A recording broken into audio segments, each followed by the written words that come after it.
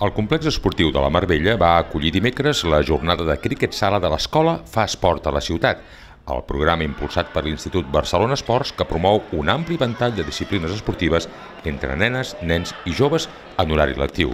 Aquesta vegada el Departament de Programes Municipals del Consell, encarregat de gestionar l'activitat, va comptar amb el suport de la Fundació del Consell a través del programa Críquet Jove BCN. La jornada es va dividir en dos torns. D'una banda, 140 alumnes de secundària i d'altra, 200 més de primària. A més a més, el Consell i l'IBE van comptar amb la col·laboració de jugadors professionals de la selecció espanyola i la selecció catalana de críquet.